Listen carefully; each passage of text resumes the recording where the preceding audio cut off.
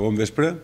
Eh, de tant en tant nosaltres ja sabeu que intentem organitzar xerrades i conferències aquí a, a Can Groart i com vam rebre diguem, així és la invitació que ens va fer el senyor Sanui a nosaltres per poder-lo rebre, doncs de seguida parlant amb en Manel i amb la resta de regidors ens va semblar que era un tema que, que en parlàvem amb ell aquí fora, que és un tema que, que diguéssim, com amb tantes coses que van passar en aquella època, eh, o no se n'ha parlat o s'ha volgut amagar expressament.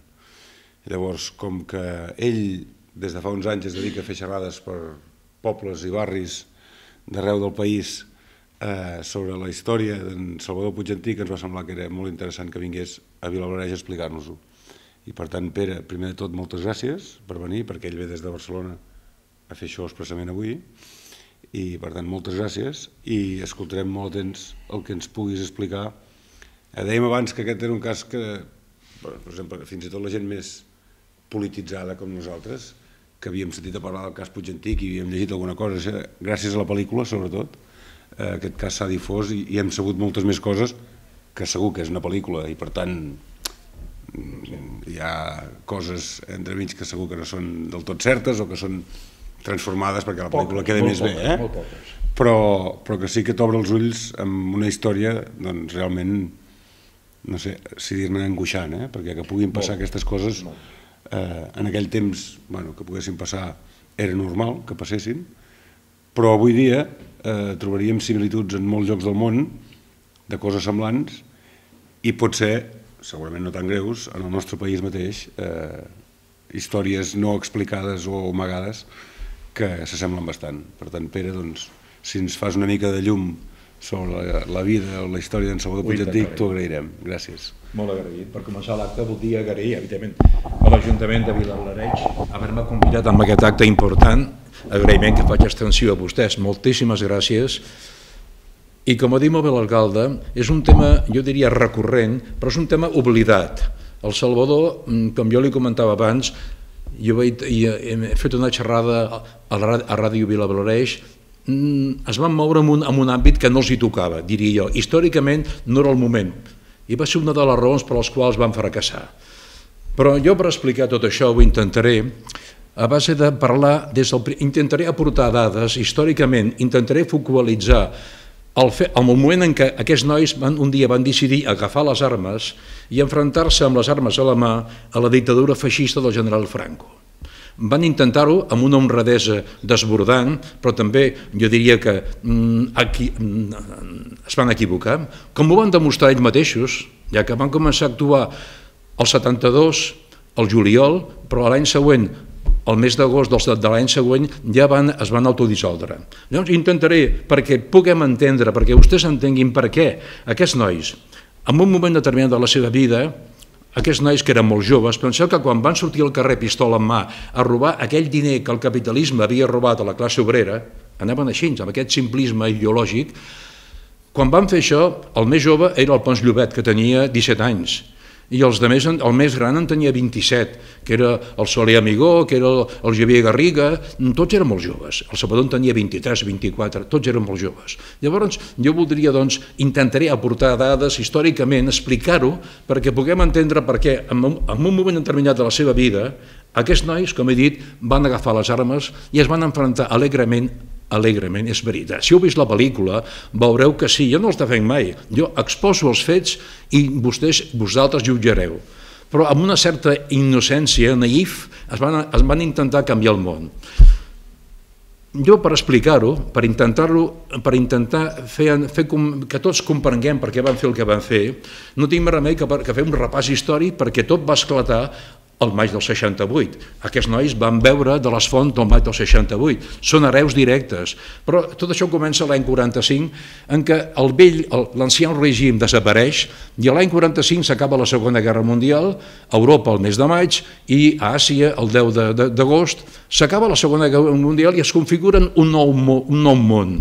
Es configuren dos blocs, que eren antagònics, s'odiaven a mort, perquè es van posar d'acord per tirar endavant i en derrotar el feixisme, Aquests dos blocs són Estats Units d'Amèrica, que representa el capitalisme eh, més lliure, més salvatge, en què el diner és, és, és, és privat i en què la, la generació de riquesa és també és privat, i després l'altre bloc és, és Rússia. Jo em nego a dir que era la Unió de Repúbliques Socialistes Soviètiques perquè crec que va ser això.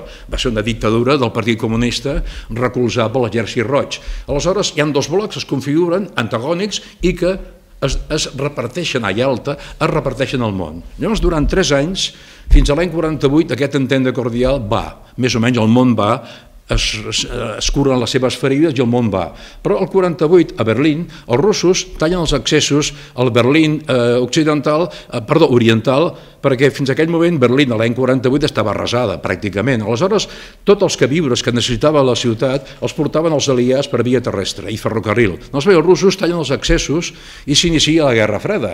En aquell moment, doncs, tot queda així, no dona cap explicació, i els americans s'inventen un pont aeri, Air Shuttle, i, i, fan, i tot el que els hi cal al, al Berlín ho porten per via aèria.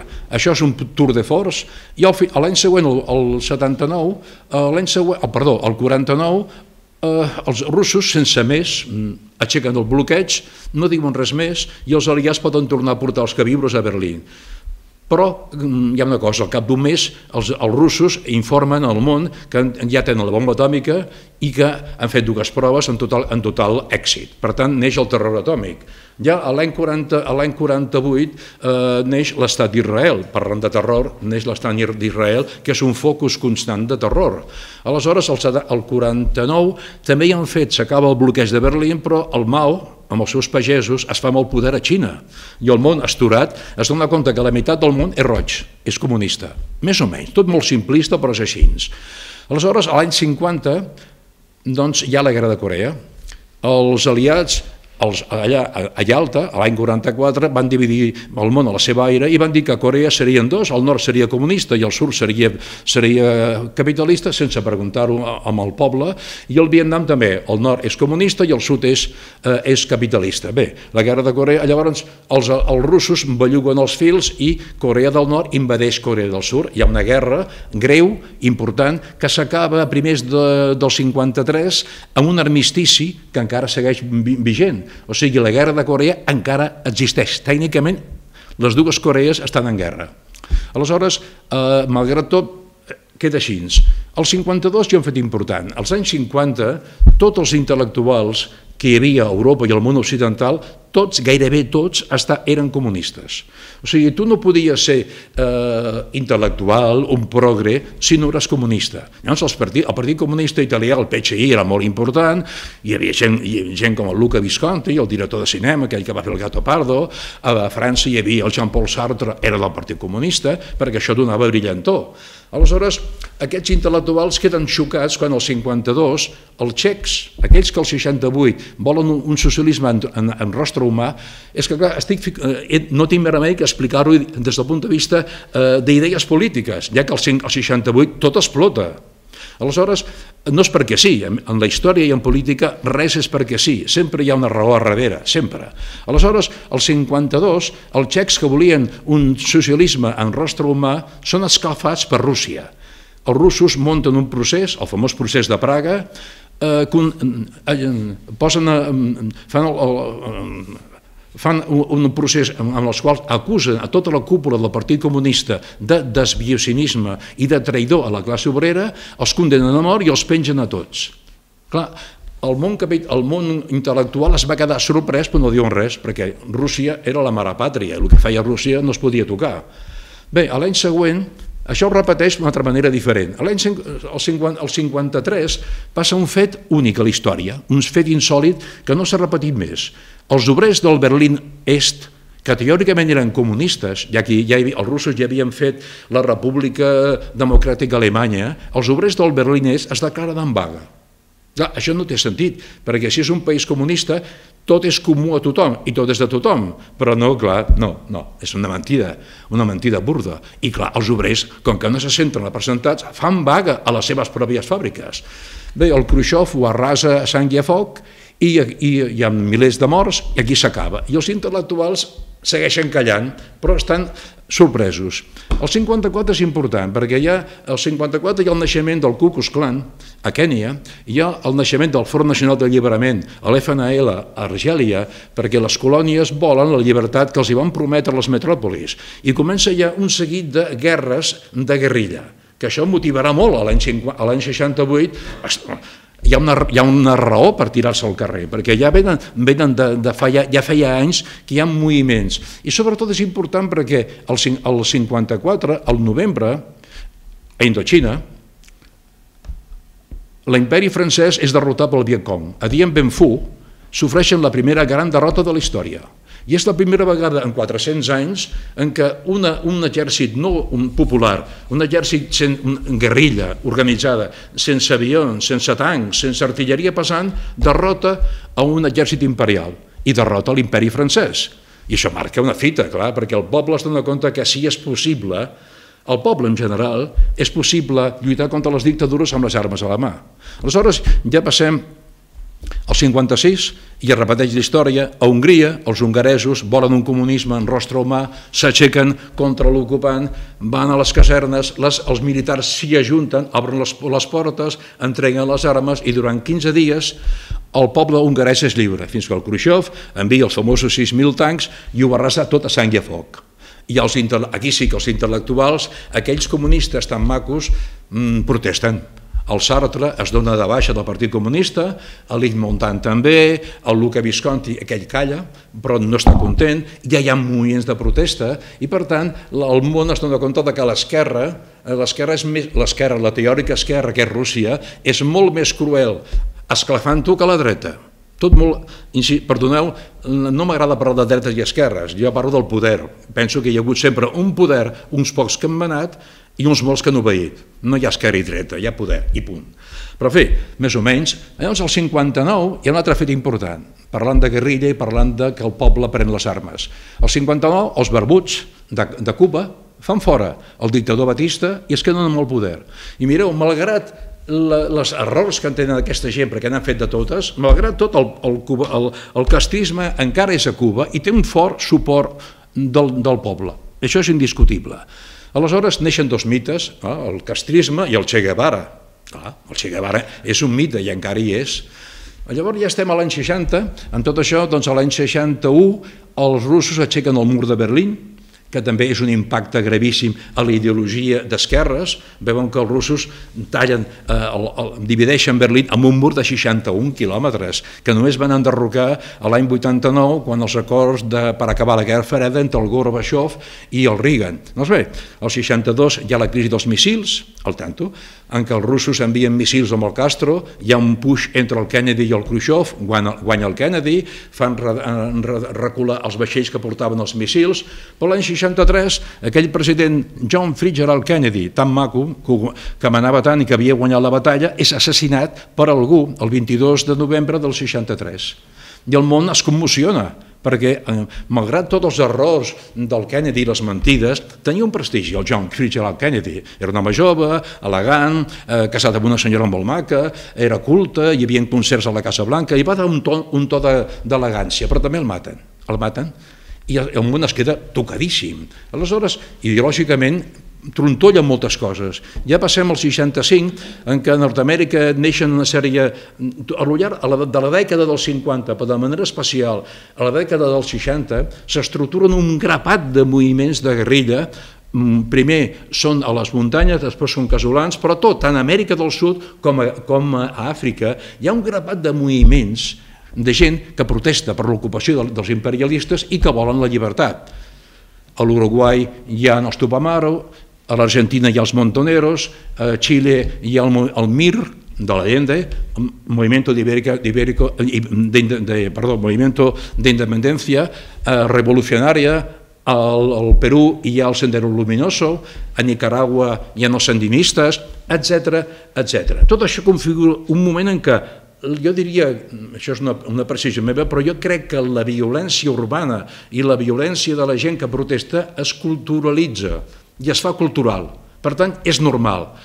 Això s'ha dit moltes vegades, és normal que la, que la gent comenci a prendre consciència col·lectivament i vagin contra el poder. Aleshores ja estem tocant a les portes del maig del 68, diria que ideològicament el món ja està preparat per dir prou, però encara queden dos punts. El, 60, el 67, el Che Guevara es baralla amb el Castro perquè el Che Guevara sí era un autèntic revolucionari, es baralla amb ell i se'n va a Bolívia, aquí s'equivoca, crec jo, se'n va a Bolívia a fer la revolució. I clar, s'equivoca al cap de tres mesos els bolivians el detenen i l'assassinen i l'ensenyen. Hem vist ara, recordàvem els 50 anys, l'hem vist estirat amb una, sobre d'una taula com si fos un animalet abatut, un elefantet, allò que feia el reiet, que anava a matar elefants i que sortia fotografiat, aquests ja ho feien també. Hi ha una fotografia en plan nazi en què el mostren amb els ulls oberts. El món queda commocionat, però la figura del, del Che està viva. Doncs, L'any següent ja estem al 80, ja estem al 68 i, però abans, abans del maig, el mes d'abril, també algú oportunament mata el reverent eh, Martin Luther King, aquell que deia I have a dream, tinc un, tinc un, tinc un, un somni en què tot, tots serem iguals i no tindrem cap, cap discriminació ni racial, ni, ni, ni de religió, ni de sexe. Doncs bé, també el maten. El maten just un mes abans del maig. No és perquè sí, no és debades. Llavors, el 68, doncs passa això, que les, els dos, les bases dels dos estats, dels dos models capitalista i comunista, les bases, la gent protesta, surt al carrer i com hi ha un baix, jo m'atreviria a dir, jo no sóc historiador, però jo m'atreviria a dir que encara estem pagant allò. No hem superat el maig del 68. Les coses segueixen trontollant, no estem bé, perquè ens hem carregat. Tot el que està passant no és d'ara, aquestes pateres, aquest, aquest tràfic de gent amunt i avall, això, això és intolerable i arrenca del 68. Aleshores, el 68 és la base, és la font en la qual un grapat de moviments sub, dits subversius prenen, prenen consciència. I, evidentment, els mil també. O sigui, els mil són fills directes del maig del 68. L'eix fonamental on, per on giren els mil són els germans Soler Sogranyes, que eren un fotimer, eren 11 germans, però eren 8 nois i 3 noies, i aquests són els, la base, aquests nois, al 68, estan estudiant eh, a l'Institut eh, Joan Maragall de Barcelona, i allà hi concorren el Salvador Puig Antic, és company d'ells, es coneixen, el Soler Amigó, si heu vist la pel·lícula Salvador? Doncs aquell noi que camina malament, que té problemes de mobilitat, és el Soler Amigó, aquest, aquest és Soler, no és Soler, aquest també és un home molt treballat intel·lectualment, hi ha també el Xavier Garriga, o sigui, el nucli dels mil són aquests nois que prenen consciència, com he dit, i diuen hem de fer alguna cosa, nosaltres també hem d'anar contra aquesta dictadura i també anirem contra el capitalisme. Llavors decideixen doncs, que treballar en comú i surten a Europa, parlen, contacten amb molta gent, contacten amb grups d'extrema esquerra, amb grups anarquistes, comunistes, eh, marxistes-leninistes, maoistes, perquè llavors hi havia un garbuix de sigles impressionant. Però el que era clar és que hi havia ganes de fer coses i de canviar les estructures. Llavors, durant un mes, el mes de maig del 68, milers i milers d'estudiants i obrers també intenten canviar les coses, però els partits d'ordre, els mil, amb els seus escrits, que vam escriure molt, però que tenien poca difusió, perquè eren un grup molt radical i molt aïllat.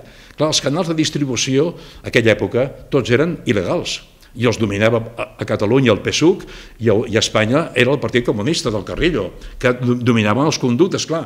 Els mil els hi costava molt, el que escrivien els hi costava molt eh, fer-ho circular. Malgrat tot, ells viatgen, ells parlen, i durant des del 69 i 70 es veuen, comenten, van a França, troben una base logística a Toulouse i a poc a poc van, explic, van centrant el seu pensament eh, eh, eh, polític són, molt, són profundament revolucionaris i volen canviar-ho tot. Aleshores,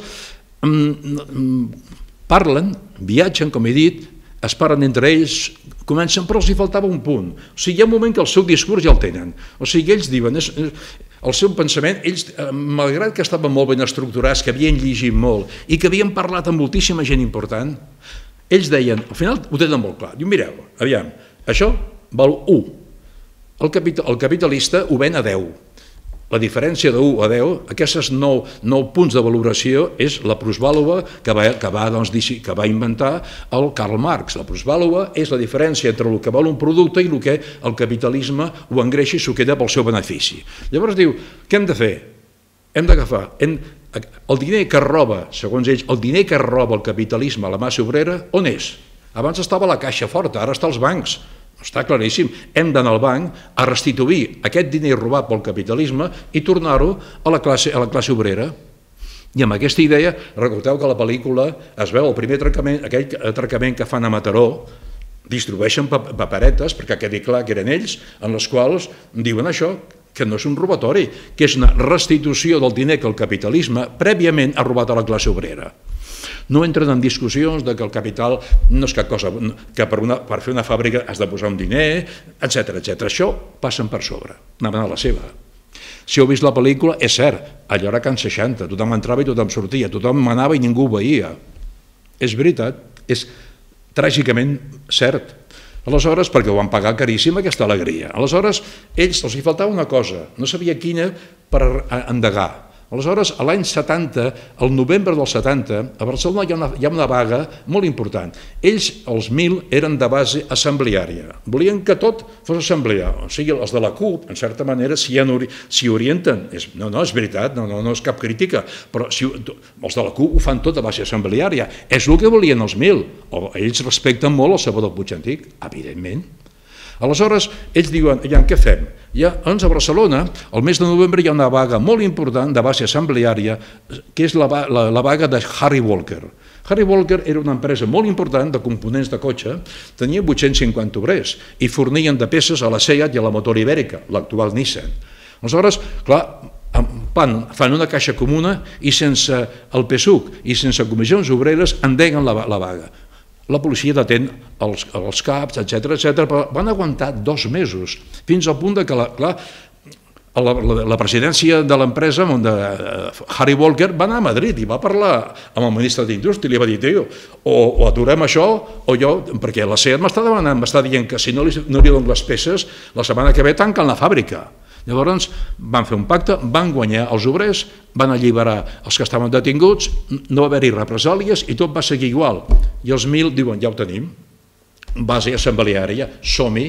Doncs el que hem de fer, ho planegen, és ajudar els obrers en vaga, obrers que, que estan en vaga i que no fan vaga seguint instruccions de, del PSUC, això és així, ni de comissions obreres, els ajudem econòmicament, els culturitzem, els informem, els fem forts intel·lectualment i tirem endavant la revolució. I amb aquest ideari tan simple van iniciar els atracaments als bancs.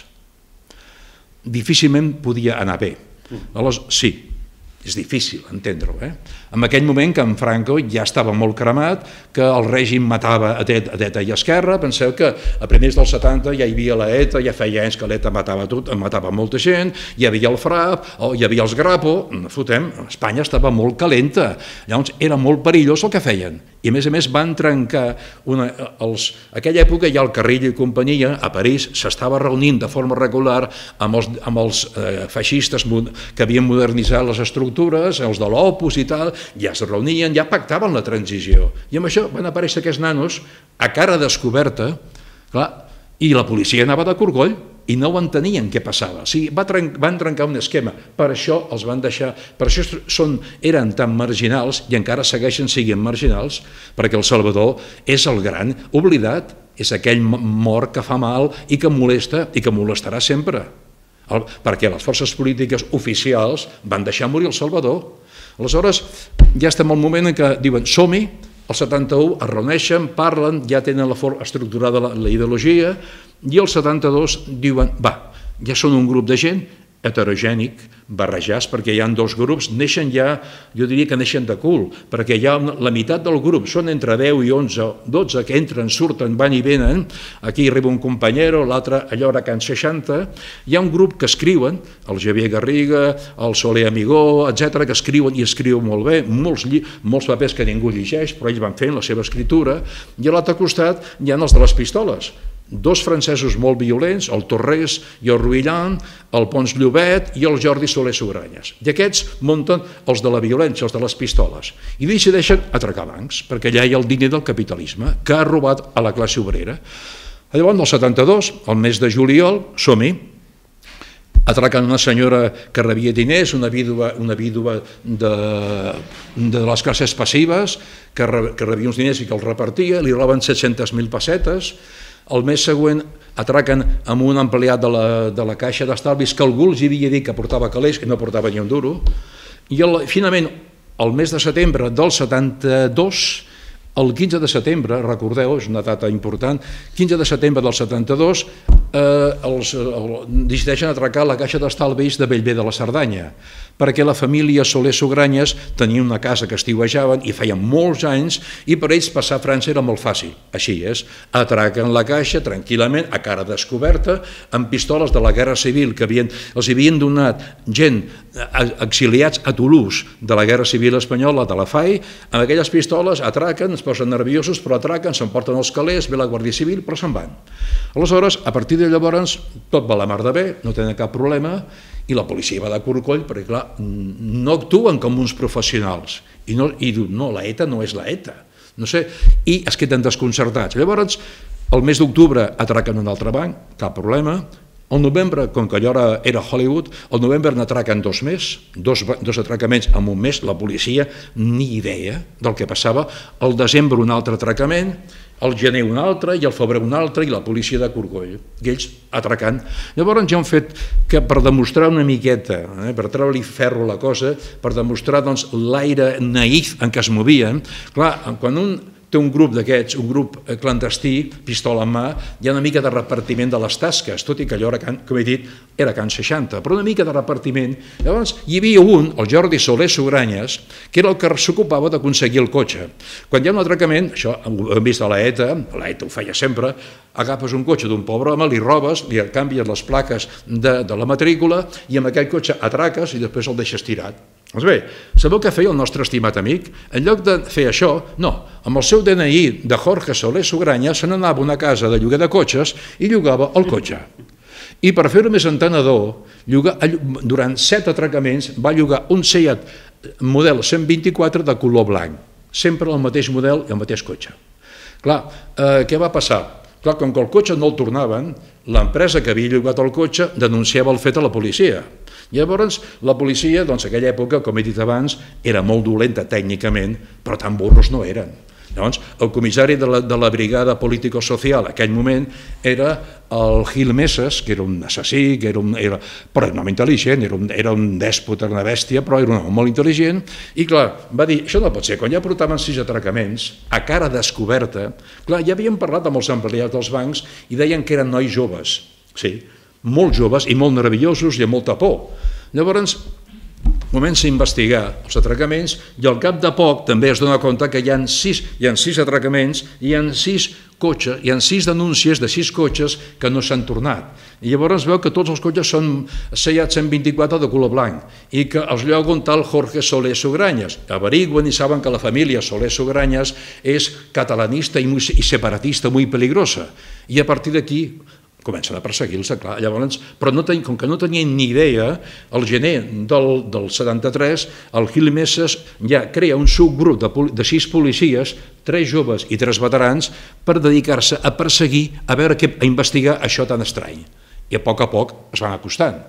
Llavors, el, el febrer, febrer tot va bé, atraquen un banc, el gener, el febrer, la policia no sap què passa, i el març, llavors sí, Recordeu que el Salvador va ser assassinat al Garrotville el 2 de març del 74.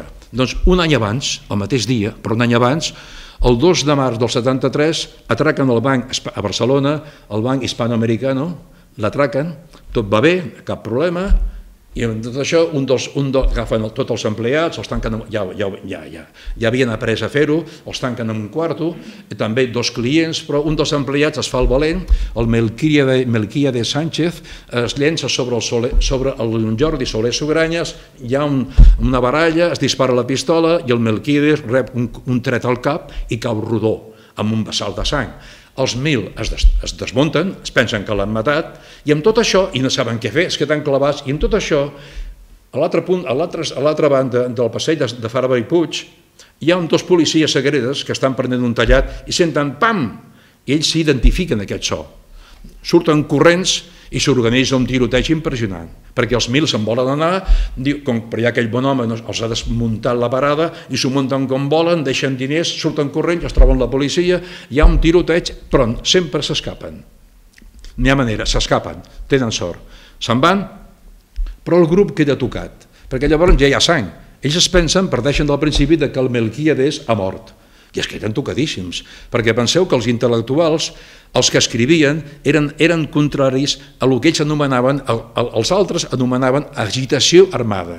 Ells no parlaven de eh, lluita armada, sinó parlaven d'agitació. Deien de que la lluita armada doncs, era bona en si, no era bona en si mateix, sinó com a complement. El que calia era, era conscienciar a la classe obrera dels seus drets. Aleshores, aquell grup, quan veuen que hi ha sang, com que ja no volien que, que hi anessin, es separen del grup. I el grup es trenca. No es va trencar al setembre quan hi ha la, la, quan hi ha la detenció al portal, no, es trenca el, me, el dia 2 de març del 73 i només queden els de les pistoles. I el, i el sapador també s'hi apunta. Però hi ha el problema que, clar, que la policia ja diu, ah, clar, ja s'han enfrontat saben que existeixen. Llavors, el cap de l'operatiu, aquell, aquell, aquell, d'aquell grup de sis policies, és un comissari molt jove que es diu Santiago Bocigas, i el Santi Bocigas, és un home intel·ligent, ja lliga caps i fa un informe, jo de tot el que dic ho tinc, ho tinc documentat, perquè tinc una excel·lent relació amb l'advocat que porta el cas d'acord amb, amb la família, i el Sebastià Martínez m'ha fornit tonelades de papers, i jo tinc fotocòpia de tot. Aleshores, el dia 9 de, de, de, de març, o sigui, set dies després de, l'enfrontament a, a pistola, ell, el Santi Bocigas, fa un informe molt detallat, en la que parla ja d'una organització anarquista molt perillosa, però ho magnifica. Diu que tenen, seu, eh, tenen seus a Barcelona, a Madrid, a Sevilla, a València, etc etc, que són centenars de membres i que són molt perillosos, i ell ja apunta que això podria ser eh, un acte de terrorisme i li envia còpia amb el capità general. I aleshores, al cap de quatre dies, el capità general Banyuls, en lloc fa un escrit i ho rebutja, d'acord amb el capità auditor del govern militar en aquell moment, d'acord amb el Carlos Rey, que ara s'ha fet famós, és l'advocat de la Sánchez Camacho. Sí, eh? Sabeu que la Sánchez Camacho, aquella senyora tan maca, la, de la Camarga, doncs bé, el seu advocat quan va protestar contra, contra, media, contra els que van fer, els que van col·locar el micròfono, el seu advocat va sortir eh, fotografiat, és el senyor Carlos Rey, i que és el que va fer tot el, en el seu moment, va fer el sumari i va redactar la sentència de pena de mort. Sí. Doncs bé, van encaixant les peces. Llavors el capità general diu que no. Recordeu, el dia 12 de, de març és que després canvia. Diu que no, que són quatre xorissos i que de cap manera això no és terrorisme.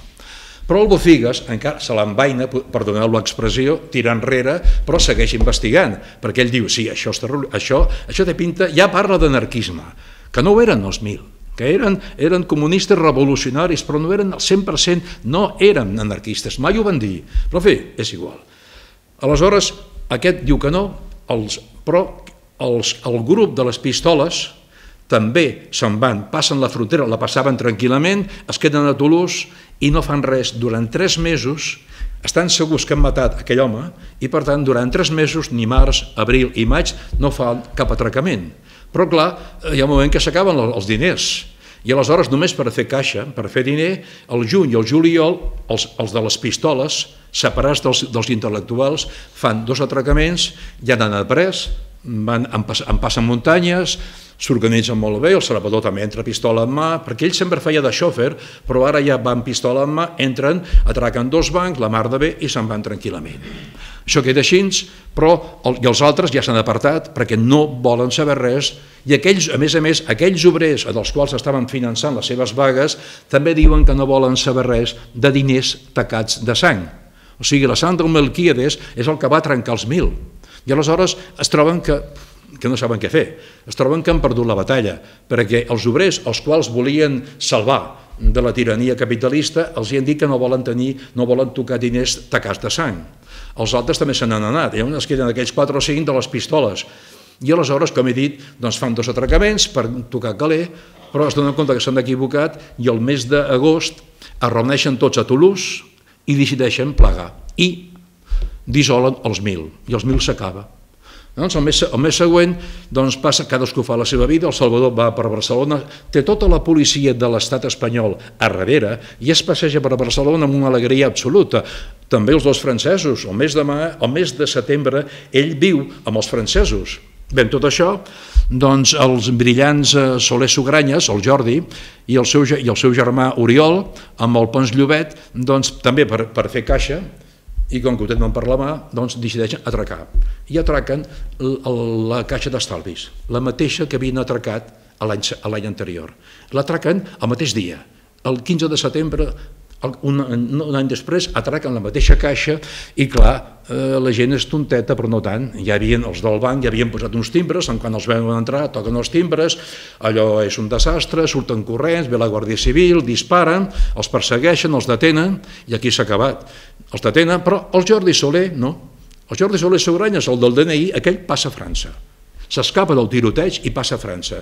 Però la, la Guàrdia Civil deté amb l'Oriol i amb el, i amb el Pons d'Ubet, els porten a Barcelona, els torturen i saben de que, doncs, de que des de Toulouse, i no tenen més remei que explicar-ho, no creuen que sigui important, diuen fins a cansar-se de, que, de que ja el grup s'ha trencat, que ja no existeixen, la policia no els creu, el Gil Mesa no els creu, els, els torturen i al final diuen doncs, que el dia 25, dimecres, el 25 de setembre, baixarà de Toulouse el Javier Garriga per emportar-se el Soler Amigó, que té molts problemes de mobilitat, que té un polio de petit, que, que, té, doncs, que és, és epilèptic i que té molts problemes, va morir molt jove, i llavors diuen que se'l vindran a recollir i això ho diuen a la policia i la policia doncs munta un operatiu i el dia 25 a les 6 de la tarda quan té que baixar del cotxe el, el, el Xavi Garriga com es veu a la pel·lícula, oh, tu, venen dos, n'esperen un.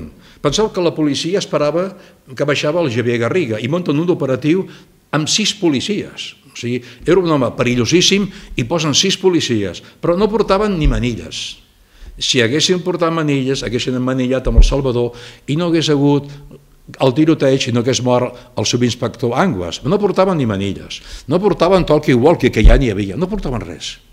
Aleshores es troben que Ben i el Salvador no hi havia d'anar, però al, al migdia a les 3 parla amb el Raimon, eh, Raimon Soler eh, eh, Sugranyes i aquest li diu, noi, escolta, baixa el, baixa el Javier a recollir amb el, amb el petit. I diu, ah, jo també, jo també hi vinc no hi havia d'anar, pel destí el van pulsar. I a les 6 de la tarda arriben el Xavier Garriga i el Salvador a recollir amb el, amb el, Sant, amb el Soler Sogranya, amb el Soler Amigó, i, tal com es veu a la pel·lícula, doncs la policia se'ls tira a sobre, tot va ser molt ràpid i enormement violent. Jo he parlat, la setmana passada encara vaig tornar a parlar, he parlat personalment amb els amos del... Si heu vist la pel·lícula, ja és al carrer Girona 70, al mig hi ha la porteria on van entrar tots, a la dreta hi ha el colmado Belém i a l'esquerra hi ha el bar funicular. Tot està igual, no ha canviat en 42 anys, està igual. I jo he parlat diverses vegades amb els amos del Belém, gent maquíssima, que sempre han col·laborat, el Ricard de la Ossa i la seva dona l'Aurèlia. Ells van ser els primers que ho van veure tot i van ser els primers doncs, contràriament a lo que diu a lo que va dir el règim en el seu moment, l'Aurèlia estava arreglant l'aparador, va sentir crits, i va veure com tres homes tenien amb un altre, el Salvador, el tenien agafat, que violentament el tiraven contra una, una farola, encara hi és, que estava a 4 metres, on estàs tu, i que allà hi començaven a pagar. Li van pagar amb les culates, li van pagar patades, el, cops a l'estómac, patades als testicles, i el Salvador va cabre rodó. Dic perquè això no ha sortit enlloc, i va cabre rodó ple de sang. Llavors no se'ls va córrer res més que agafar-lo entre els tres i el van entrar al colmado. I allà l'Aurèlia, que estava sola, perquè el Ricard estava a l'interior del magatzem, va cridar, Ricard, vine córrer! I va dir, llévenselo, senyora! Van discutir, llévenselo! I estava a terra en commoció cerebral i ple de sang. Llavors no sabien què fer. Tot això la gent del carrer cridava, perquè això va passar en 3 minuts, encara no. En tot això també, dos policies van agafar el Xavi Garriga, i el Xavi es va des desempallegar, perquè era un home molt jove, va anar corrents, va passar per davant del tumult, i aleshores un policia i el Ricard de la Ossa, que es pensaven que eren uns lladres, li va fer la traveta amb el Xavier Garriga. Va caure a terra, dos policies se li van tirar a sobre i el van reduir. Mentrestant, els altres tres tenien el Salvador a terra inconscient. Llavors no sabien què fer. I van dir, a la porteria, venga, a la porteria! I llavors, histèrics, estaven des, desballestats, van aixecar el, el Salvador i, contràriament a el que es veu a la pel·lícula, no el van deixar a la paret, el van entrar violentament a dins a la porteria. I van entrar amb una porteria, la porteria fa 3 per 4, o sigui, és això, no? això és la porteria, 3 per 4, o sigui, és un lloc petitíssim.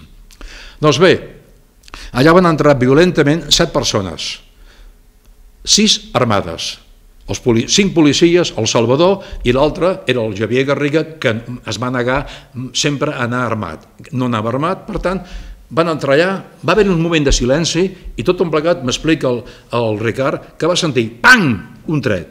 I després 7, 8 o 10. Pam, pam, pam, pam, pam, pam, pam. No hi era ell, ell, ell estava al costat, però va sentir els trets, però se'n va sentir entre 9 i 10, claríssim.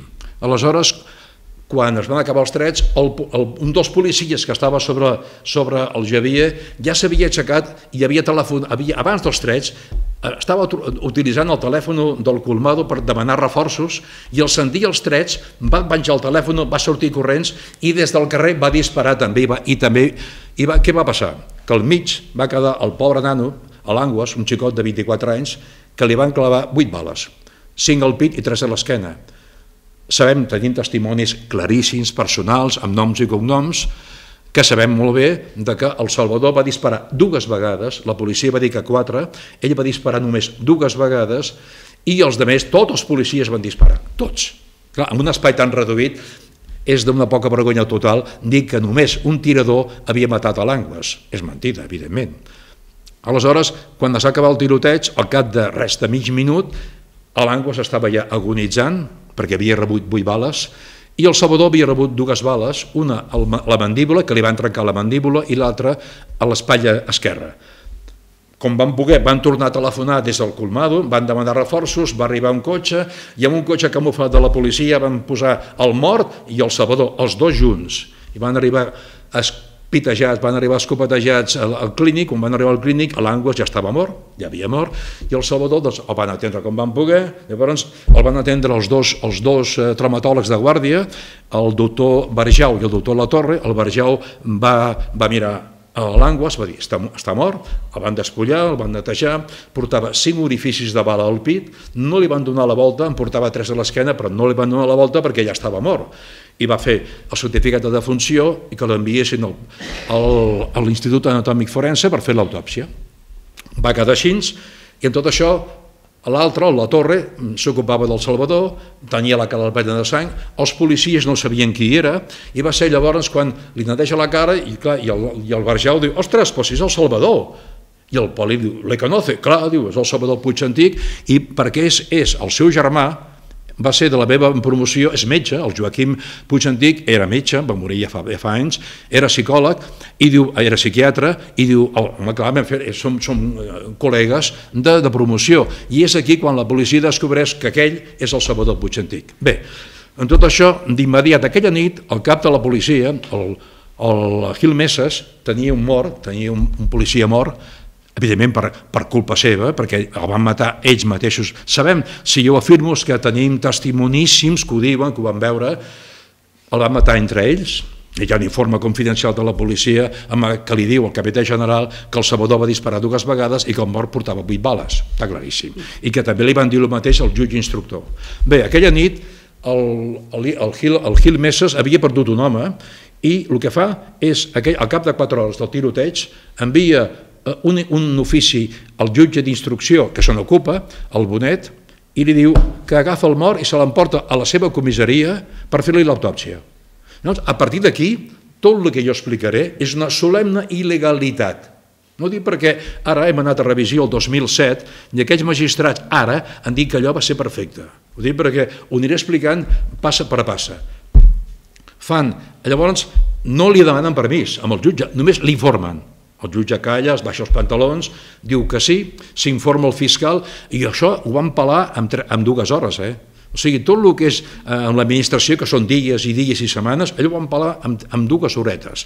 El, el, el fiscal diu que també ho autoritza i els dies, en tot secretisme, els policies van al dipòsit de cadàvers i en total secretisme agafen l'anguas a dins de la caixa, el posen en un cotxe normal camuflat de la policia, se l'emporten a la seva comissaria d'Enrique Granados i ella, en total secretisme, sense, que hi hagi, sense la presència ni del jutge, ni del fiscal, ni de l'advocat, ni del secretari, allà diuen que fan l'autòpsia. Bé, després, a l'endemà, els, els eh, forenses, que ara sabem que només n'hi havia un, quan per llei han de ser dos, i van firmar dos, eh? Sí, sí, però no hi era, un no hi era fi, una, una, una de les més clares il·legalitats. Bé, llavors, l'endemà, la policia prepara un informe i els forens i la policia fa un informe dient que l'assassino és Salvador Puigantic. Ja diuen assassino, allò que avui dia aquí parlem sempre de presumptament, allà no, no, a l'època d'en Franco això són tonteries, no?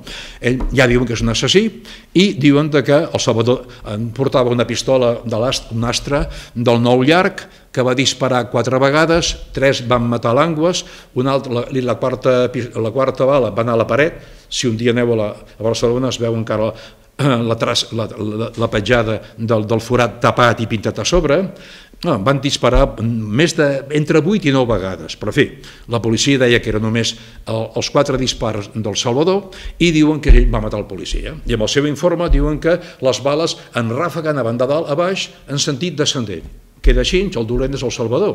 En tot això arriba l'informe de l'autòpsia i el forense, el que va fer l'autòpsia, el Sánchez Maldonado, diu el mateix que la policia, que el Salvador va dir que el mort presentava tres orificis de bala, però ho diu, diu la veritat, com que van cabre a terra, van ser de baix a dalt, i diu que els projectils anaven de baix a dalt, en sentit ascendent al contrari del que diu la policia. I sabeu què, què passa? Algú agafa un bolígraf i a sobre de les lletres, on deien de abajo arriba, posa, abajo posen arriba, i on posa arriba posen abajo. Tinc fotocòpia, ho puc ensenyar. I sí, o sigui que trossegen l'informe de l'autòpsia, la, qual, la qual cosa li treu tota la legalitat. I com que no n'hi ha prou, encara entre pàrrafs, algú amb un tipus de màquina diferent escriu los tres proyectiles que van matar, segons ells, a l'Anguas, los tres proyectiles podrien corresponder a la misma pistola. Fan un judici que això no els hi pertoca, ho han de fer, en tot cas, els pèrits balístics, no ells, però ho fan.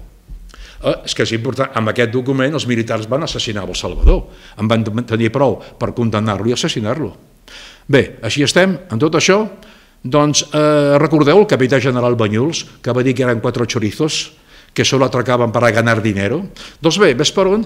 Això passa el dia 25. Doncs el 29, quatre dies després, l'home es desperta i de la mà del Carlos Rey, l'advocat de Sánchez Camacho, de la mà d'aquest senyor munten un consejo de guerra la qual cosa és una, eh, conculquen tots els principis de jurídics, ja que un consejo de guerra, ara ja, ja està prohibit, significava que un grup de militars homes d'armes, sense cap preparació jurídica, sense cap coneixement de legalitats, munten un judici amb un civil.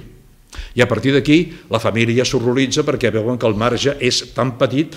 Han nomenat una, dos advocats amics de la Carme Puigantic, aquests són l'Oriol eh, l'Oriol Arau i el, i el, i el i el Francesc de Paula Caminal, els dos són molt amics de la Carme, tenen 28 anys, però quan veuen que aquests comencen a activar la defensa, però quan veuen que això passa a la jurisdicció militar, naturalment tenen molta por, parlen amb les germanes, demanen permís i busquen un penalista. Finalment trobem un penalista, que és curiós, perquè el que va dir que sí, tothom es va escaquejar, però el que va dir que sí és, era un home del règim, era l'advocat Condomines, que havia sigut degà del Col·legi d'Advocats, als anys 50, i aquella època, per ser degà d'un col·legi professional, havia de ser del règim. Doncs bé, accepta l'accepta l'encàrrec i va fer una defensa extraordinària. Comença, doncs, Primerament, el primer que demana és una, una pericial balística, perquè clar, volen, vol saber mm, quines bales van matar el policia a fi efecte de buscar també les pistoles i caçar-ho. Bé, els, els militars li diuen que no, que ells són gent... Jo tinc fotocòpia del que diuen, eh? és, un, és un escàndol. Els militars diuen que ells són ah, gent d'armes i que, per tant, no cal cap peritatge, ells ja saben el que diuen, ho saben perfectament, i deneguen la, la, la balístic. Llavors, el condomines demana doncs, que es peritin les pistoles. I sabeu què va passar?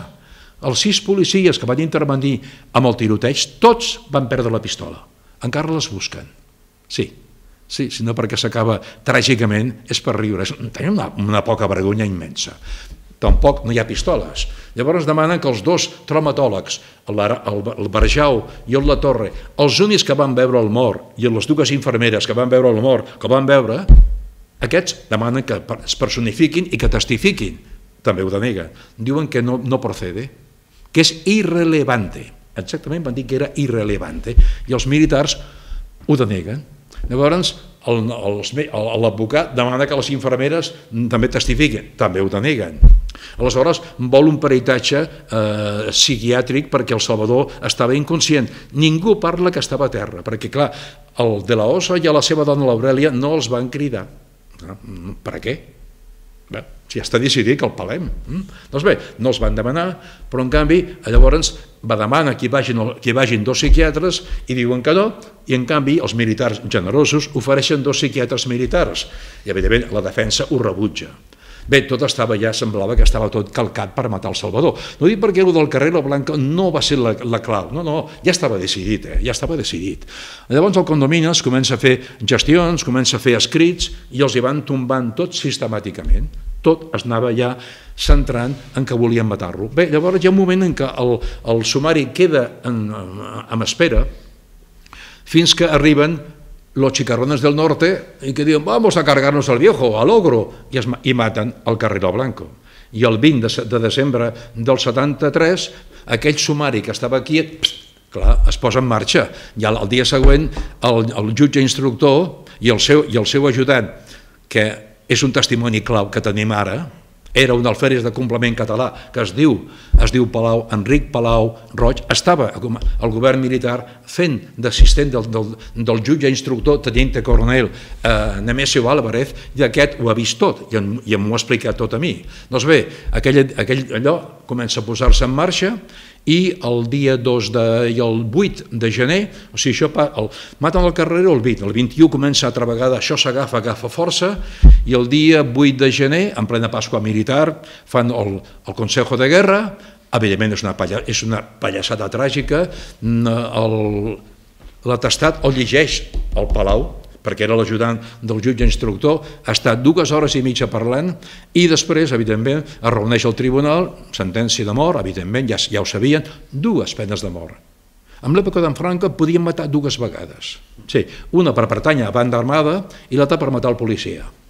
En resum, de seguit els advocats van, a, van al Tribunal Suprem d'Injustícia, diria jo, militar, ho tomben, en tot això, l'Àries Navarro és nomenat president del govern, fa aquell discurs el 12 de febrer, l'espíritu del 12 de febrer, i bé, en aquell moment, eh, amb el franquisme, eh, quan un tribunal, el que fos, sentenciava a mort, el que feien era que, quan ho ten... Eh, era que el Consell de Ministres havia d'autoritzar aquella pena de mort durant el Franco. Aleshores, i les, això les famílies, la família del, del Salvador tenien por, cada divendres tremolava, perquè hi havia Consejo de, Ministres, de Ministros. I en aquell moment el Consell de Ministres franquista es constituïa en Tribunal de Cassació i podien canviar la sentència.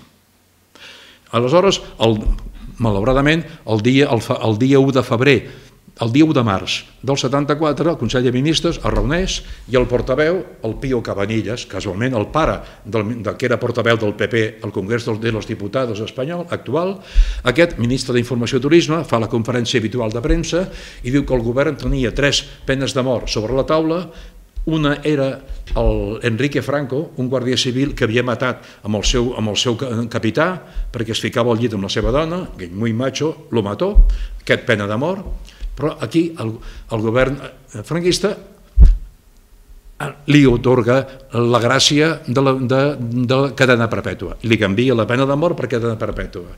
La segona sentència de mort era contra aquell que van dir que era, una, que era un tal eh, Chess, Heinz Chess, que era una pàtrida eh, eh, polonès d'origen desconegut, mentida.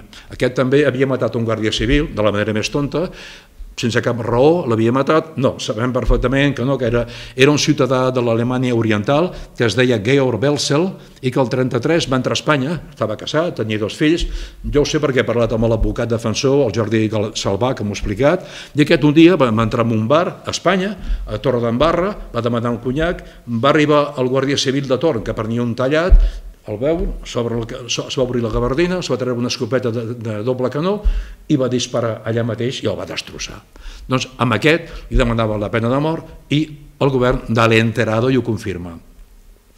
I la tercera era la del Salvador. I en efecte, donen l'interado i el dia, i el dia següent, al cap de 12 hores, perquè quan el govern rebia, o sigui, quan la institució rebia del govern espanyol l'interado, tenien 12 hores per executar amb aquell pobre desgraciat. I en efecte, per això el Pio Cabanilles, que feia les conferències a, la, a, la, a les 9, a la una, a, quarts, a dues, màxim a les dues del migdia, ho va fer a les 9 del vespre, perquè així, a quarts de 10, començaria el termini i per això el van matar a dos quarts de deu el dia següent. Doncs bé, en aquell moment ningú es va bellugar, exceptuant el Col·legi d'Advocats, el Col·legi d'Advocats, que els honora, es van, es van crear una comissió de tota urgència i van estar tota la matinada fins a l'endemà al matí trucant a tothom, van trucar al, al Billy Brandt, al, al Vaticà, van trucar l'Olof Palme, van trucar al Giscard d'Estaing, van trucar tot Déu intentant moure per evitar eh, l'execució, però va ser impossible, el règim ho tenia decidit i tothom es va tancar en banda. Però, però hi ha un sí, sí hi, ha una, hi ha una persona, un comunista que sí va dir-ho. Llavors, aquella nit també, quan el Salvador estava en capilla, aquesta frase tan, tan grotesca, men dramàtica, en capilla, en capilla de què? Esperant que el matin. Doncs bé, quan el Salvador estava en capella, a Barcelona, al restaurant La Oca, de la, de la plaça Macià, eh, un grup d'intel·lectuals presentaven la revista Por Favor. Sí, és sorprenent, no? aquelles coincidències. La revista Por Favor la van presentar aquella, aquella nit. A l'acte el va presentar el Luis de, el Luis de l'Olmo, hi havia tota la crema de la intel·lectualitat, els pesuqueros, etc etc. i aquests s'ho estaven passant la mar de bé, i en tot això, a quarts de 12 de la nit, el Luis de l'Olmo va cridar amb el Vázquez Montalbán i va dir, Manolo, Bé, dir alguna cosa. I el Vázquez Montalbán, amb una actitud que l'honora, i per això sempre la destaco, ell va dir, sí, recordeu que el Vázquez Montalbán era comunista, era del, era del PSUC, era del Comitè Central. I va dir, companys, és un dia de joia, celebrem la presentació d'una nova revista satírica, que no va malament, que riem, però recordeu que el govern ha donat l'enterado i si no els mobilitzem demà a dos quarts de deu, executaran amb el, Soles, amb el, amb el, amb el uh, Puig Antic no li van fer ni punyetero cas, tinc testimonis que hi eren, el Luis de l'Homo ho deia moltes vegades, no li van fer ni cas, van seguir bevent conyac, van seguir, perdó, gin tònics, el que es feia llavors era whisky i el gin tònic, i l'endemà el règim el va matar, va executar en Salvador tranquil·lament. Aleshores, després d'això, ja en democràcia, aleshores, en democràcia, el 96, les germanes eh, d'acord amb el Caminal, van, demanar, van anar al Suprem a demanar revisió del cas. No a cassació, perquè la cassació només canvia la sentència. Però no, vam demanar una revisió, o sigui, es va demanar un nou judici. El 96, i evidentment el Tribunal Suprem ho va rebutjar. Ja en democràcia, però ho van rebutjar. Perquè, com sempre he dit, el Salvador molesta molt, molt. Aleshores, el 99, quan vam recordar els 25 anys de l'assassinat d'en Salvador, el Parlament de Catalunya, amb una decisió que els honora, tant que, tant que critiquem els, molts polítics, el Parlament de Catalunya, que quedi clar, a instàncies d'Esquerra Republicana, va fer una declaració institucional dient, honorant la figura del Salvador i altres lluitadors per les llibertats i demanant que el govern català posés els mitjans per anar a revisió. En resum, el govern català i el Parlament van posar uns milions i ens va per, de pessetes i va permetre a la família tornar, perquè pots anar, pots anar al Tribunal Suprem sempre que vulguis, però has de portar proves noves. Clar, llavors vam aportar aquelles proves que ni el 96 ni el 74 ens van permetre de portar. Vam, portar, van, van anar els dos traumatòlegs, van estar 3 i 4 hores dos, en dies separats, van explicar-ho tot, es va fer una prova infogràfica amb la que es veia que el pobre Angua s'havia rebut de tot arreu, etc etc. No vull allargar-me, amb el sentit que es va fer una prova molt ben feta, amb la que s'explicava tot, van haver-hi també, va, va venir una, una pèrita eh, de mecanografia, de cal·ligrafia, explicant que aquella màquina, aquella màquina d'escriure que es va utilitzar, evidentment la tinta era diferent de l'altra, eh, van haver-hi moltíssimes aportacions que van demostrar clarament de que el Salvador només havia disparat dues vegades. I a més a més, els dos metges van insistir en que, el, en que Mira que li van fer, els, van haver-hi eh, dos, tres magistrats que anaven sempre en contra, que deien de que no, de que el mort no portava eh, les cinc bales, que en portava tres, i els dos van dir, no senyor, han passat 40, 38 o 40 anys, però recordem perfectament, van explicar la posició del cos, com estava l'angües, que portava les bales. ells van seguir el seu. Aleshores, el greu és que quan es va acabar eh, tota la, la frase de, de, de, de pronunciament, el sumari va anar endavant i finalment el juliol del 2007, ja en democràcia, al tanto, és important, el 2007, ara que estem ja en democràcia, doncs eh, va haver-hi el veredicte.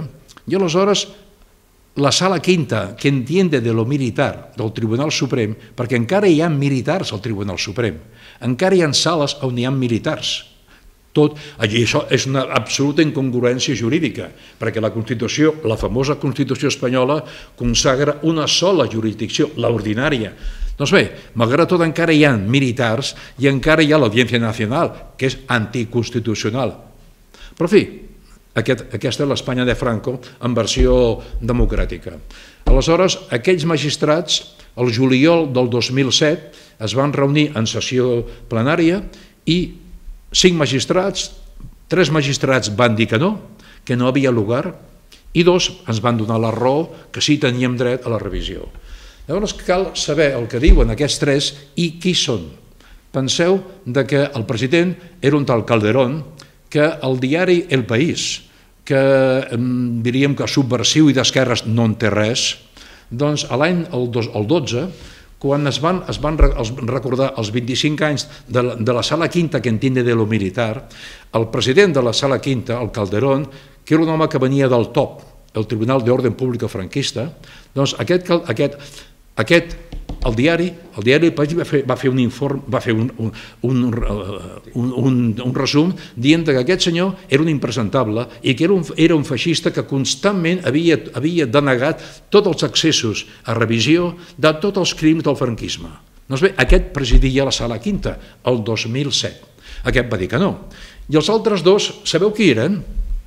Dos gloriosos generales del glorioso ejército espanyol. El Corrales i el Giuliani. Eh, bé, el Corrales era admirall, és el mateix, és la mateixa assimilació, i els dos generals ens van denegar la revisió. En tot això és gravíssim, això passa ara, que ens pot passar a nosaltres, al tanto. Clar, és que riem, però a mi em pot, em pot imputar qualsevol fiscal, però subversiu. Bé, aleshores, els dos que ens van donar la raó són dos magistrats de gran categoria, un d'ells és l'Àngel Juanes, que per votació interna del, de l'Audiència Nacional, que és la que porta el tema de contraband, el tema de balanqueig de diners, la tracta de blanques, doncs bé, per votació dels magistrats va ser elegit president de l'Audiència durant, durant tres anys. I el Juan és doncs, un home de prestigi, ens va donar tota la raó, va fer un vot particular de 12, de 12 pàgines en el qual es carregava sistemàticament tot el que deien els altres, els deixava sense, sense arguments, deien que havien falsejat, deien que havien falsejat les proves, que havien fet el que no podien, que era jutjar, etc etc etc, que hi havia una, una, una, una autòpsia que estava mal feta, il·legal, feta fora de l'àmbit que, que corresponia, tot el que diu és molt més greu del que, del que, del que deia el Garzón i a través de la qual la van fer fora del, del, del sistema judicial espanyol. Però això era molt més greu, perquè el Garzón el que, fa, el que volia era xulejar com sempre i mm, tocar el tema del franquisme, res més. Però aquests no, aquests acusen els jutges, amb els seus, els tres restants membres, d'inventar-se proves i de ser absolutament, i de, i de ser il·legals no passa res. Bé, i l'altre, i l'altre, l'altre és el Calvo, José Luis Calvo, també fa la mateixa defensa i diu el mateix, els acusa de prevaricació, perquè diu vostès, han fet, han fet, s'han inventat unes proves per justificar la sentència de rebuig. Els acusa de, de prevaricació i malgrat tot, doncs no passa res. I així estem. Aleshores, ens ho van rebutjar i ara hi tornem, la tercera, el Sebastià Martínez és un home fort, està convençut de la seva raó i com que en tot això hem trobat doncs, un parell de, de testimonis fonamentals, com li deia doncs, amb, el, amb el Didac de Ràdio Vilabrareig, doncs hem trobat, eh, hi ha un llibre que ha sortit ara, no sé si el coneixeu, un llibre que va sortir l'any passat, que es diu Salvador Puigantic, cas obert, del periodista de l'avui, Jordi Panella. No sé si l'heu llegit, mereix la pena. Si us interessa el tema, està molt ben escrit, el va acabar, el va presentar el març de l'any passat, i allà ens hem trobat, ell ha trobat un testimoni i jo un altre, aquelles casualitats de la vida, fent xerrades. Jo un dia estava a Vila, estava al Maresme, eh, Sant Iscle de la, de, la, de la Vall Alta, i allà doncs, vaig fer una xerrada, que em va convidar la, la bellesa, molt maca, una gent jove, i a l'acabar, un home molt exaltat em veia a parlar i, jo li, i se'm tira a sobre, oh, hem de parlar, hem de parlar tu i jo. Jo li dic a la bellesa, qui és? Diu, és el meu pare. Dic, ah, cap problema. Doncs tenia raó l'home d'estar exaltat. Llavors ella em va dir Clar, jo l'escoltava, però també hi havia, hi havia xivari de bombers perquè hi havia un incendi forestal, els Mossos d'Esquadra, semblava una cosa apocalíptica. I em diu, és que jo, diu, la meva dona, eh, diu, la meva dona té una cosina segona que està casada amb un català que viu a Sòria. I aquest, i jo deia, sí, sí, i diu, i aquest va estar al costat del jutge militar del cas Puig Antic. Dic, ah, clar, vaig girar-me, dic, explica-m'ho.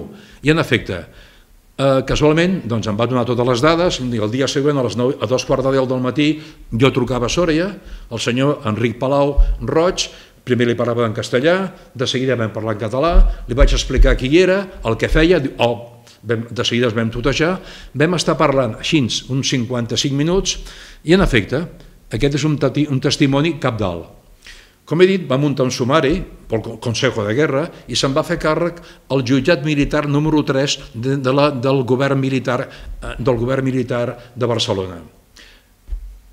I el capità auditor de tots els jutjats era el, era el senyor Carlos Rey, l'advocat de, la, de la Sánchez Camacho. Llavors, ell li va passar a dir, el tinent coronel, ell estava a les ordres d'un tinent coronel, que era un militar, i aquell li va dir, Chico, i ell era al, al, al Palau feia les milícies universitàries. Sabeu de què va?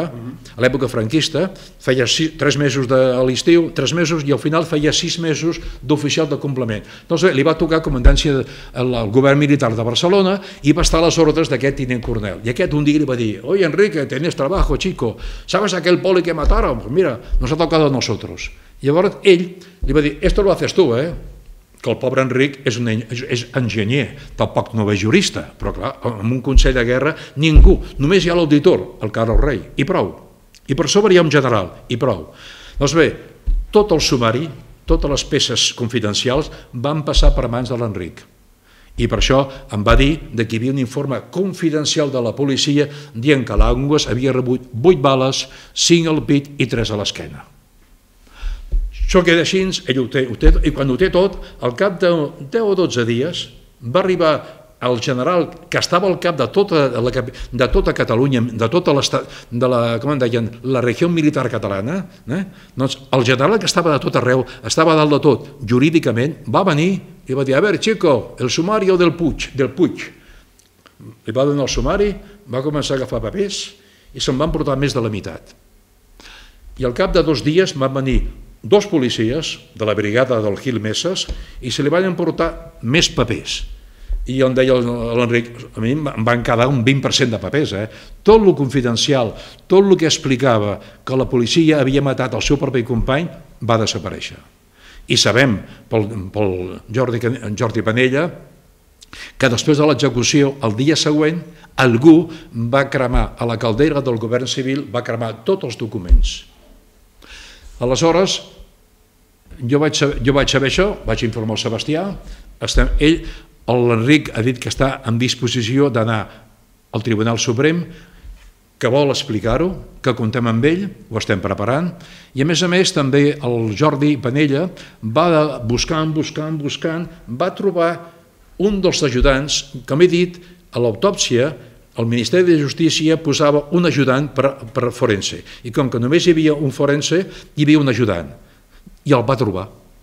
Un home que estava jubilat, de més de 80 anys, en el llibre s'explica molt bé, però va demanar que no apareixés el nom, i no sabem com es diu. Ja ho trobarem, però no sabem com es diu. I aquest home va explicar que, en efecte, van fer l'autòpsia sobre la taula d'un de la policia, una taula normal i corrent, van treure les, les, les màquines d'escriure i els papers, i allà a sobre, a dins de la caixa, van fer l'autòpsia del pobre Anguas. Aquest ho ha explicat tot i ha confirmat que portava 5, 5, que portava 5 impactes al pit i 3 a l'esquena. Aleshores estem treballant sobre aquesta base i esperem doncs, tirar-ho endavant. Perquè, clar, després, després de lo que ha passat, de, després del 2007, quan ens ho van rebutjar, vam anar de, també de, de corpus al Tribunal Constitucional Espanyol i no cal que digui el que, va, el que van respondre. No? Vam anar també a Luxemburg, ai, perdó, a Estrasburg, al Tribunal de Drets Humans, i també el, el jutge ens va tocar el magistrat grec que va dir que no, que ens, va, ens ho va tirar. Per tant, ara ho estem treballant amb totes les dades actualitzades. Si em voleu fer una pregunta, si hi ha alguna cosa més per explicar, m'ho pregunteu, si us plau. No, llavors el d'Argentina és la darrera peça perquè eh, passa el següent, com que cap jutge a Europa ens ha escoltat, és que és així de, de sarcàstic i de dramàtic, perquè ni a Espanya, ni a Catalunya, ni a Espanya, ni a Europa, el Tribunal de Drets Humans d'Estrasburg, ningú ens ha fet punyetero cas. Llavors ha aparegut una senyora, una jutgessa molt valenta, però que té 77 anys, i aquesta senyora, la senyora Maria Servini, és la que va acceptar una, una, demanda, una, una demanda contra els crims del franquisme que li van presentar uns advocats argentins que viuen a Madrid d'acord amb uns advocats espanyols. I aquesta senyora, com que va a darrere dels crims de la dictadura argentina, va acceptar, perquè avui dia hi ha Nacions Unides, sembla que no serveixi per res, però Nacions Unides té un entramat importantíssim de coses, i a nivell jurídic també. I ha fet, per exemple, ha fet, ha fet valdre una llei que té validesa a tot el món, que és la llei de justícia universal, la qual no prescriu mai. I basant-se en aquesta llei de Nacions Unides de, de Justícia Universal, la Servini ha acceptat rebre aquestes, aquestes peticions d'Espanya i per això el Sebastià Martínez s'hi va apuntar de seguida i la Marsona, la més petita, la Marsona Puigantic, és la que va anar a primers d'any a, a declarar a davant de la justícia argentina. Per això hi hem anat, perquè és la primera vegada que un jutge ens fa cas, que és lamentable 100%. Jo no sé si ha quedat clar, si em vol una pregunta. Suposo que ha quedat mm, molt, tremendament clar. A mi m'han dit, m'han parlat de que si, si, el, que si ETA va ser la responsable. Jo crec que no, insisteixo, amb el rebuig constant que van fer a totes les peticions de la defensa, on es van conculcar tot el, el dret a la defensa, ja, ja el règim el tenia clar. Sí, però sí que és veritat que el cas estava dormint mm. i que revifa quan, quan maten en Carrero Blanco, no? que igual hauria pogut estar dormint sis mesos més o, sí, més, sí. o tres anys més. Però tard o d'hora l'haguessin... Jo crec que, jo crec que se'l guardaven per tard o d'hora doncs, eh, fer un, un càstig exemplar. Sí. Però hem de pensar que els militars està, clamaven, clar, volien... Home, perquè ell te matava i matava. Ah, però si acaba passa un any més i es mor en Franco i no ha passat res gros, igual en Salvador queda allà... Estaria, lli estaria lliure. Sí, sí, sí. Sí, perquè hi havia dos... Jo he parlat amb gent de la... Amb gent de la... Bé, la mort del Salvador va ser tan, tan, tan violenta i tan mm, tràgica de que els components del mil, els dos bàndols, van quedar tocadíssims i no, no n'han volgut parlar mai. Sobretot la part, la part dels intel·lectuals s'han negat sempre a parlar-ne perquè van quedar sota xoc brutal. Però, en canvi, altres, a la part francesa, doncs van començar a moure's, però no hi ha manera de que això tiri endavant, perquè, perquè eh, jo ja ho deia, ells es van equivocar, ja ho he comentat, jo penso que van sortir en un moment, no, no era el moment apropiat, es van equivocar de moment i de moment històric. I a sobre van optar per una via que ja estava, podíem dir, ja regulada pels partits comunistes de, de l'època, i per tant jo penso que tard o d'hora, no sé si l'haguessin matat, no ho sé, perquè dos, dos que eren de, de, de grups anarquistes condemnats a mort, sí, amb la llei d'amnistia els, hi van, els hi van commutar la pena. Sí, sí, sí, sí. Però no eren, delit, però no eren delites de sang. Però esclar, és que... Estaven condemnats a mort però per tirar bombes i per posar i perquè eren comunistes i perquè eren subversius, però no van matar ningú. En canvi, el Salvador el van acusar d'una mort. No ho sé, és una incògnita. Jo crec que l'haguessin matat igualment. Jo em temo que sí, que l'haguessin matat. I ara estem lluitant perquè se sàpiga la veritat. El més trist de tot és que l'any 72 això podia passar, el 73 podia passar, el 74 podia passar, però el 2007 no sí, sí. havia de passar. És grotesc. Això et demostra en quin estat eh, estem. Penseu que la sala, la, aquesta, la sala quinta que entende de lo militar va fer una, 25 fulls per justificar allò que van fer els militars. O sigui, és gravíssim quan diuen que el judici del Salvador, quan els dos magistrats que ens han defensat diuen que el, ju el judici va ser, no va ser just i que la sentència havia de ser una altra. Insisteixen molt perquè és una manera d'escriure dels, els advocats i els, i els jutges. En canvi, els altres no tenen cap dubte en dir que no, que no. Estan justificant el que van fer els militars del 74. Això és molt greu. Diuen que no, que el Salvador va tenir tot, totes les, tots els recursos humans de defensa. Va, és, és indignant. És rotundament indignant. Eh? La sensació d'indefensió que tenim Absoluta. al poble ras... No, estem en, en mans d'ells. Poden fer el que vulguin. Poden fer el que vulguin.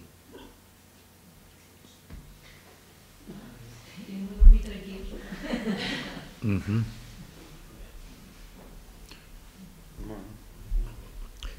Aprofitem per preguntar-li coses.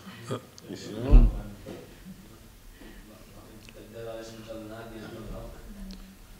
Podria dir moltes més coses perquè m'he de compte que he estat una hora, una hora i vint, una hora i quart, i estic una hora i mitja, eh? però és que he anat, perquè a vegades em passo de rosca, parlo massa, perquè sé tantíssimes coses, tan indignants, avui no, heu tingut sort, una hora i quart. Doncs gràcies per, vostre, per l'interès, gràcies. Gràcies. Gràcies.